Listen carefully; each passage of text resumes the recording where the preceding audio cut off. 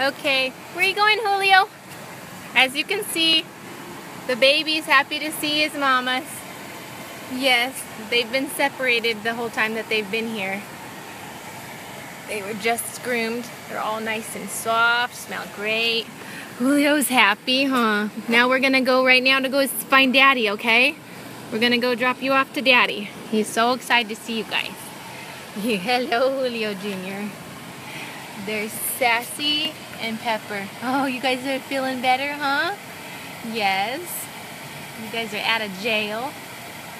You sure are. Oh my God, you are so happy. Look at the Julio Jr. You're so happy.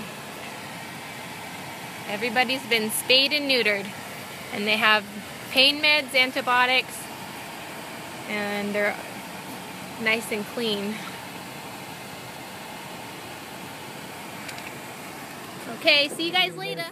What you did for me and the dogs, and they're out, and I got kind of stuff in storage, and in a motel room right now, and things are starting to look up. So, and these guys are committed.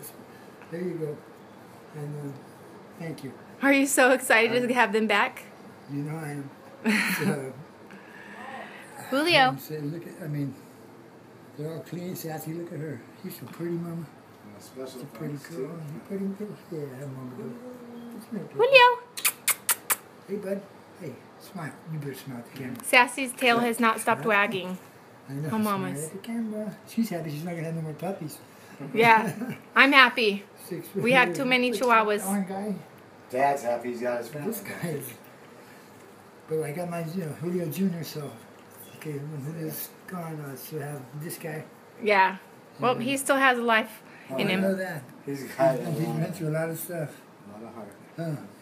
All right. Nobody's tougher than him. Yep. Yeah, he's, he's the bomb.